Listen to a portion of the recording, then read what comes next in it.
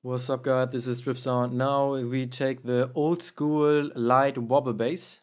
Then we go to the operator, put the ground note, original note.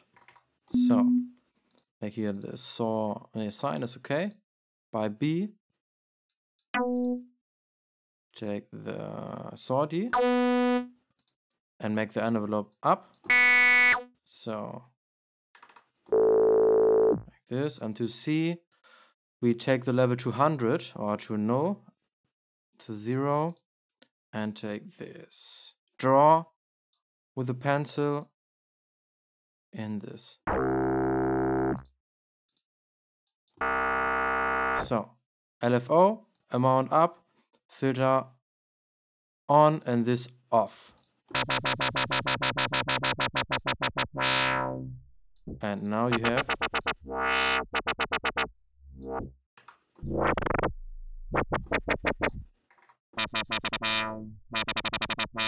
Very simple.